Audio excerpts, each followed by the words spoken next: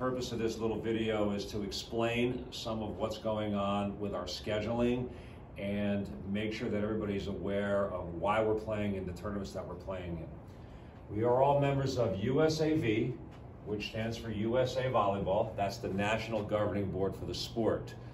And USA runs the entire country. In the country, there are 40 regions. We are in the region called the Chesapeake region, also known as Cherva. So we play in the Cherva region. We play for the Metro Volleyball Club. There are many volleyball clubs in the Cherva region which are under the guidance of USA Volleyball. On the Metro Volleyball side, there's the travel teams and the regional teams. We are the 14 travel team and we play in the Chesapeake region. We are required to play in two in-region tournaments a year to qualify to play in regionals. We played in two Winchester, Vienna Elite was the sponsor of those tournaments, two tournaments which has qualified us to play in regionals. We've been accepted into regionals and that will be taking place this Saturday at the St. James.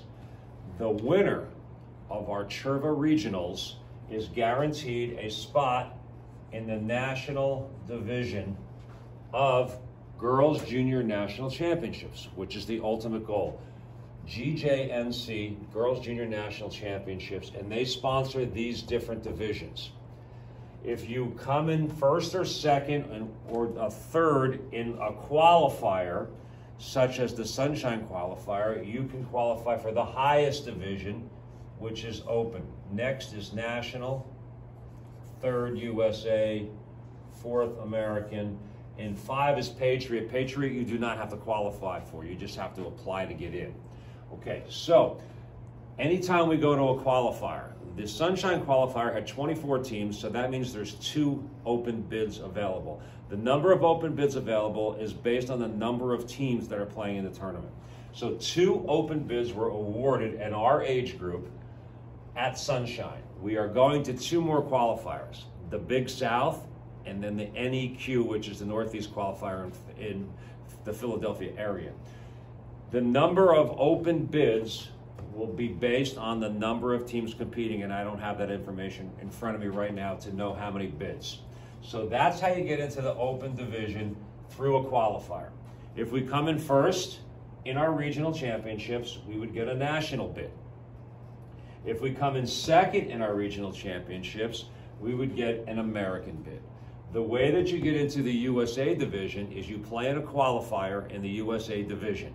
We don't want any parts of that. We want to play in the open division, which is the best. We want to try to qualify there. If not, then we're interested in playing in the national division. Sometimes what happens is there is movement. Some teams will double qualify, and there can be movement from national up to open, and there can be a movement from American up to national. So if there are two open bids, let's say, available, they'll take the two best teams that are in the national division and move them up. Then they'll take the two best teams in the American division and move them up at national championships. Okay? Um, there are also some other tournaments that we play in, and they are sponsored by the AAU or JVA. The tournaments in uh, Ohio, our Cleveland tournament was canceled, but we have a tournament later on in the year in Columbus, is a J JVA AAU sponsored tournaments. They, um, they're tournaments for, for good volleyball, but uh, they have nothing to do with the results being recorded for USA Volleyball. So let's do a quick review. USA Volleyball is the national governing board. Cherva, we are part of Cherva. USAV runs the Girls Junior National Championships, open, highest level. National, next. USA American Patriot.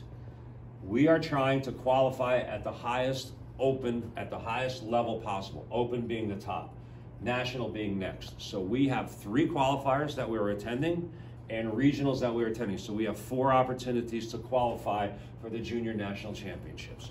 So hopefully that explains what we're doing and why we're doing it. Thank you.